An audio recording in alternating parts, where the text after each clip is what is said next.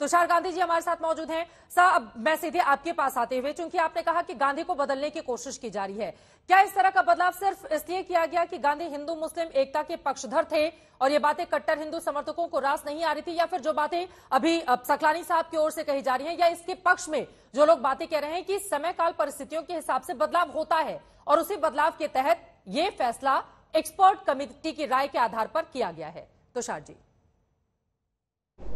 ये कट्टर हिंदू की बात नहीं है, ये कट्टर हिंदुत्ववादियों की बात है। इसमें बहुत फ़र्क है।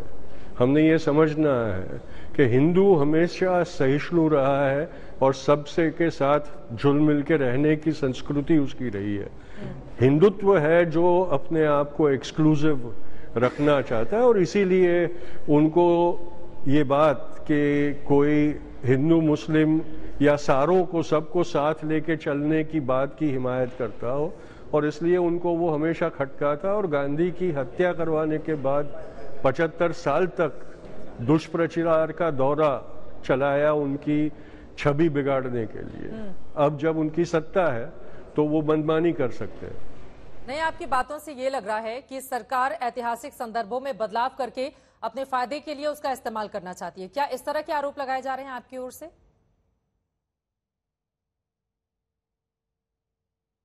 आरएसएस के फ़ायदे के लिए और उनको नुकसान ना हो हम्म। ये मंसूबे से ये काम किया जा रहा है क्योंकि जो असली इतिहास है वो उनके लिए नुकसानकारक है। हम्म। और उसको वो लोग दबोचना चाहते हैं बदलना चाहते हैं छुपाना चाहते हैं। ठीक है। साहब हमारे साथ बने रहिए। बहुत सारे और भी सवाल हैं जो आगे मैं आपसे पूछूँगी। मोहसिन रजा साहब सीधे आप सुन रहे हैं तुषार गांधी को।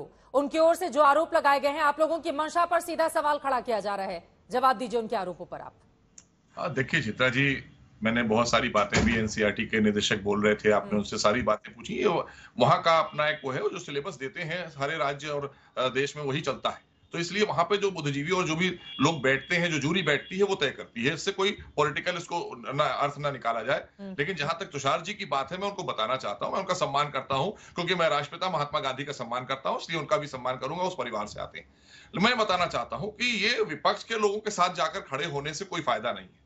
आप सड़क से सदन तक देखिए हमारे राष्ट्रपिता महात्मा गांधी का सम्मान हम लोग करते हैं। कब नहीं किया हो कहा नहीं किया किस जगह पर नहीं किया है ये इशू उठाकर कांग्रेस मुद्दे को डाइवर्ट करना चाहती है। वो हमारे राष्ट्रपिता महात्मा गांधी है वो हमेशा रहेंगे। हमारे दिलों में राज करेंगे।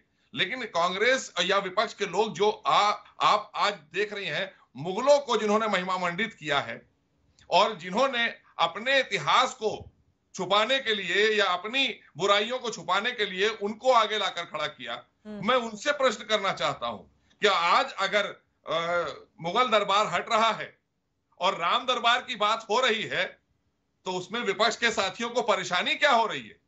तो इसका मतलब यही है कि इन्हें वही आक्रांता चाहिए थे जो मंदिरों को आकर तोड़ डालें जो हिंदुओं को आकर मार डालें वही लोग इन्हें पसंद थे। हम्म। और उनको ये इतिहास में रखना चाहते हैं कि हमारे बच्चे उन्हीं को पढ़ें।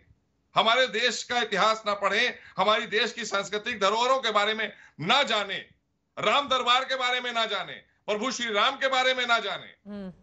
ये ये ये सिलेबस इनसे कहिए अगर इनको इतना ही विरोध करना है तो किसी अरब जैसे मुल्क में जाकर ये पढ़वा कर दिखवा दे राम दरबार तो हम जान जाए। अभय दुबे जी ठीक है। किसी भी बात पर सवाल उठाने से पहले हाँ। विपक्ष को जवाब भी देना होगा। ठीक है। अब मुगलों पर तो बहुत सारे सवाल आपने यहाँ पर खड़े कर दिए हैं लेकिन गांधी को लेकर अगर लाइनें चार चार पाँच पाँच हटाते रहेंगे तो क्या वो सच को छिपाने की कोशिश के तहत आरोप नहीं लगेंगे? लेकिन उसके पहले अभय दुबे जी उनके आरोपों पर जवाब दीजिए। अब कांग्रेस के ऊपर आरोप लगते रहे हैं कि अपने हिसाब से इतिहास लिखवाती रही है पार्टी। अब जो उन लोगों को अनुचित लग रहा है उसको वो हटा रहे हैं।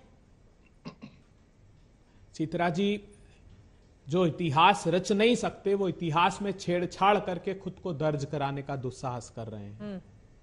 जो खुद काम करके नाम नहीं कमा सकते वो नाम बदलने की राजनीति इस देश में कर रहे हैं। मैं तो शुरू दिन से कहता हूँ कि महात्मा गांधी का दृष्टिकोण नहीं इन्होंने सिर्फ़ प्रचार के लिए महात्मा गांधी का चश्मा उधार लिया है। शर्मनाक बात है महात्मा गांधी को हृदयों से हटा नहीं सकते। मगर जो गोड़से के पाप कर्म पर पर्दा डालने का षड्यंत्र चल रहा है सवाल उसका है आप क्यों हटा देना चाहते हैं गोड़से के संदर्भ को? मैं पूछना चाहता हूँ और ये सिर्फ़ गोडसे का प्रश्न नहीं है। ये सवाल इस बात का है कि पहले दिन से भारतीय जनता पार्टी की आज की मानसिकता और ये कह रहे हैं इतिहास में लिखने की बात तो क्या लिखोगे इतिहास में? अगर चलिए महात्मा गांधी को आज़ादी के आंदोलन के इतिहास से मिटा दोगे पंडित नेहरू को मिटा दोगे बाल गंगाधर तिलक को मिटा दोगे गोखले को मिटा दोगे तो दर्ज क्या करोगे? श्यामा प्रसाद मुखर्जी को आज़ादी के आंदोलन में दर्ज करोगे? बताओगे इस बात को कि वो फजलुल हक के साथ जब भारत छोड़ो आंदोलन उन्नीस सौ बयालीस में चल रहा था तो पाकिस्तान का प्रस्ताव पढ़ने वाले के साथ सरकार चला रहे थे और सदन में यह प्रस्ताव पारित कर रहे थे कि आज़ादी के आंदोलन को कैसे कुचलना है? क्या इस सत्य को दर्ज कराना चाहते हो कि नॉर्थ वेस्ट फ्रंटियर प्रोविंस में और सिंध प्रांत में हिंदू महासभा मुस्लिम लीग के साथ उन्नीस में सरकार चला रही थी, आज़ादी के आंदोलन के खिलाफ? ये दर्ज करना चाहते हो? क्या ये दर्ज करोगे जब श्यामा प्रसाद मुखर्जी को सरदार पटेल पत्र लिखते हैं कि मेरी और पंडित नेहरू की हत्या करना चाहते हैं, जो देशमुख और दिग्विजयनाथ को तुम छुड़ाने की बात करते हो। क्या उस इतिहास की पुस्तक को अपने ग्रंथों से हटा दोगे, जो राष्ट्रीय स्वयंसेवक संघ के पूर्णकालिक लिखते हैं the tragic history of partition जिसमें वो सरदार पटेल को बंटवारे का खलनायक बताते हैं? क्या वो वो दर्ज कराना चाहते हो? हमने तो पूर्वाग्रह से दर्ज नहीं किया, ये क्या क्या हटा देना चाहते हैं? दसवीं के पाठ्यक्रम से कहते हैं कि लोकतंत्र और विविधता, लोकप्रिय संघर्ष और आंदोलन लोकतंत्र की चुनौतियाँ ये हटाने का दुस्साहस करते हो। हाँ क्योंकि दमन तंत्र तुमने चला रखा है तो जब नए सिरे से इतिहास लिखा जाएगा भारतवर्ष का और आप लोगों के कार्यकाल का उल्लेख होगा तो ये दर्ज किया जाएगा कि कैसे धन्ना सेठों बनाम लोकतंत्र की ये लड़ाई चल रही है सर कैसे लोकतंत्र का दमन ये लोग कर दिया रहे है